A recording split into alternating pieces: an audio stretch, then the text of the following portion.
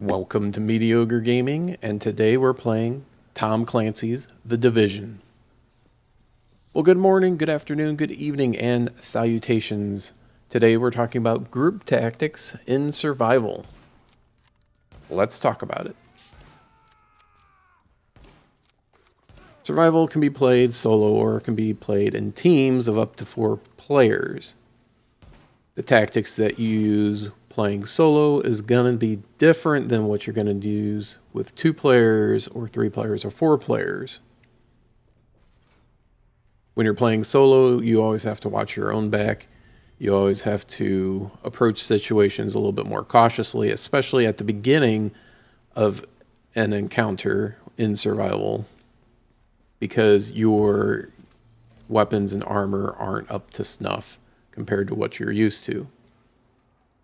Now, what about in teams? Now, there are two schools of thought on teams of two, three, and four. You can either split up or stay together. Staying together, you have uh, the advantage of getting more firepower on NPCs and players. You can get different angles on them. So you should be able to clear out NPCs a lot faster and landmarks than you would by yourself. That's the advantage. The disadvantage is whenever there's drops, it's all communal drops. Everyone doesn't have their own drops, and caches can only be opened by one player, and only one player gets them. So whoever opens the fabric container or the weapons container or armor container, they're the only ones that can pick that up. Or there's only one player that can pick up those items. So that's a disadvantage. So the other school of thought is to split up. Now the advantage of that is everything that you pick up, every encounter with NPCs, you get everything that drops. The downside is uh, if you run into another player or group of players or you're in a tight spot with NPCs, you don't have the advantage of someone watching your back someone getting an angle, a different angle on the NPCs or other players where it would make it easier to take those down. So there's advantages and disadvantages no matter what you choose. And if you're playing in a group of four, you have the option of splitting up into teams of two and going around or splitting up completely where everyone is basically solo or maybe have one group of two and then two people going solo. Uh, partially, it's going to depend on how comfortable you are playing survival. The other part is how much stuff that you want. So you have to weigh the comfort level with where you're placed on the map, with being able to get your weapons and gear score up faster. So in this situation, it was myself and one other player. We split up. Now, when you do that, you want to have a general direction to go into.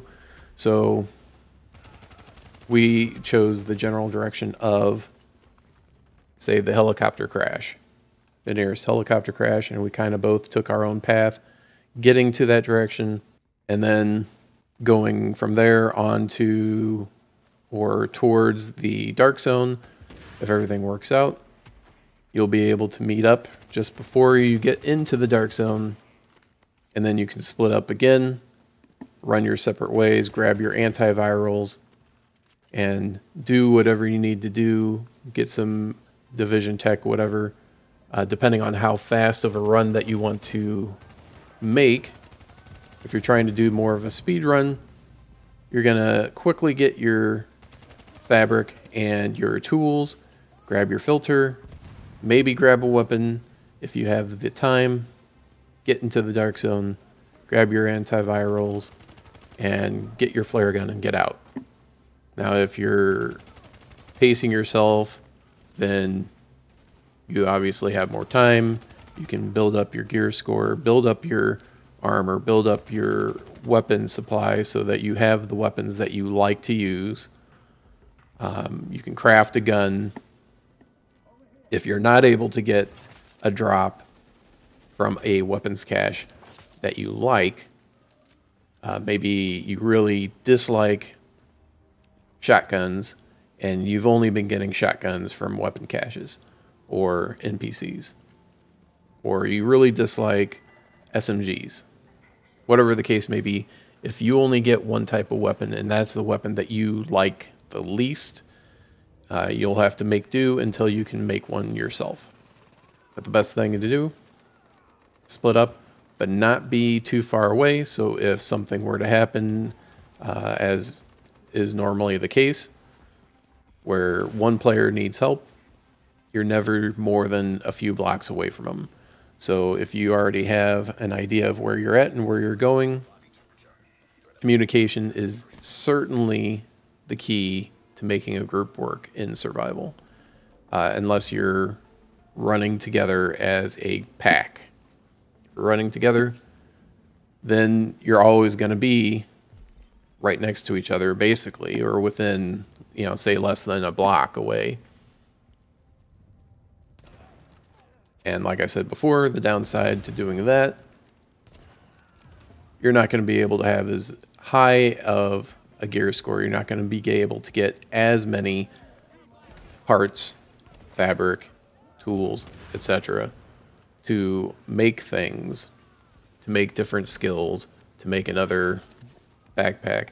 You're going to have a harder time making a filter to get into the dark zone because you'll need two blue fabrics and two blue tools to make a filter. So ultimately, it's up to you and like I said, how comfortable you are with your map position. So if you're comfortable where you're put down, you can go split up and go your separate ways and make sure that you're both going in the same general direction.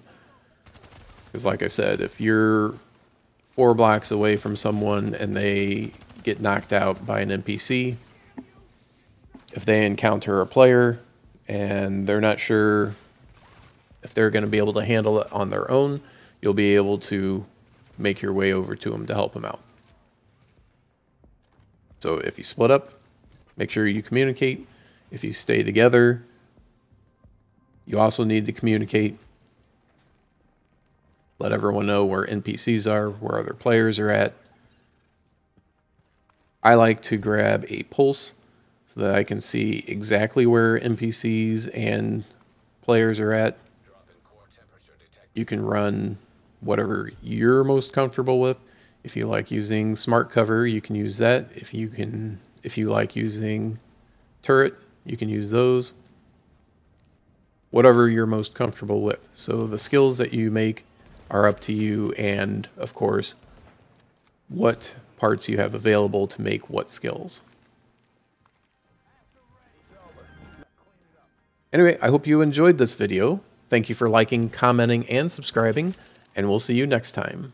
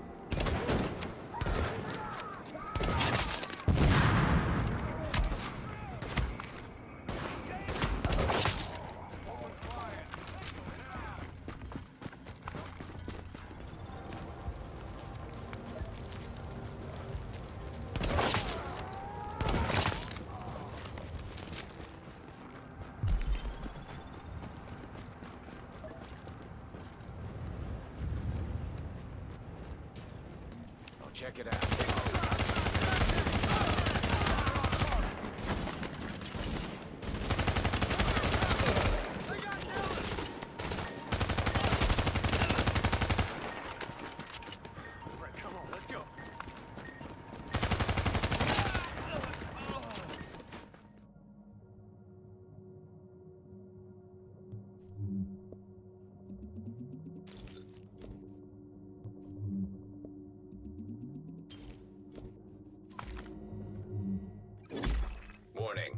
Infection progressing.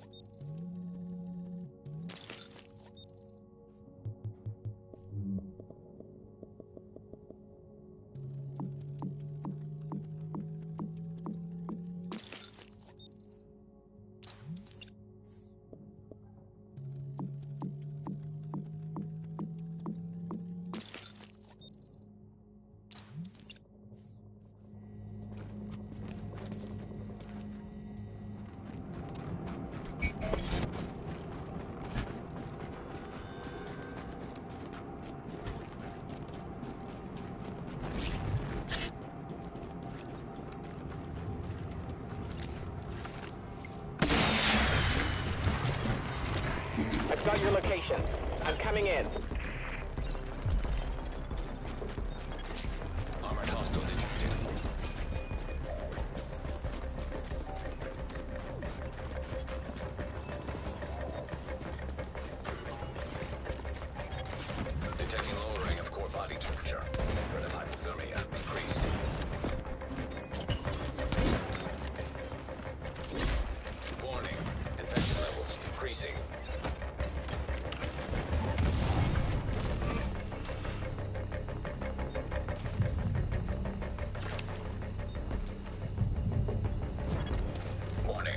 Agent on your team is down. Requires assistance.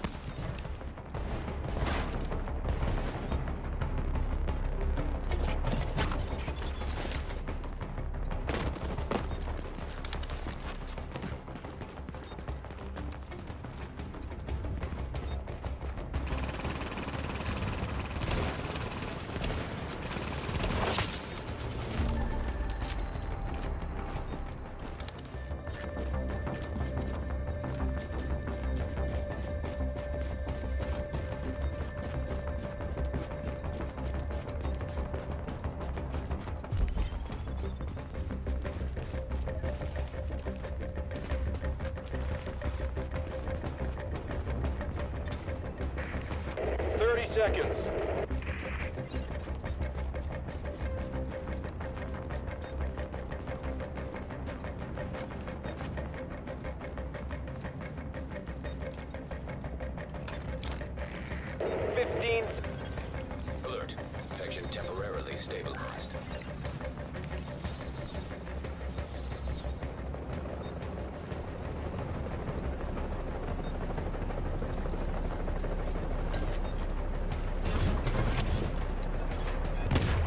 Gonna put her down, nice and easy.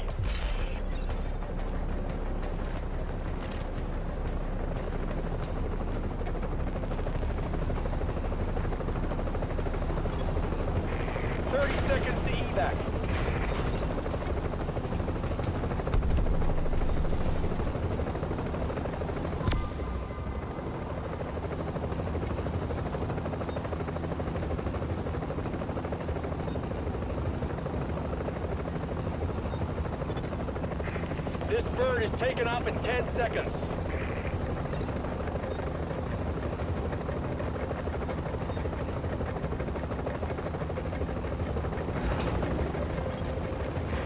Hello, returning to base.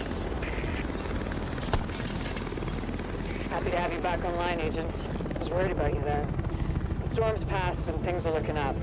Get back here when you can.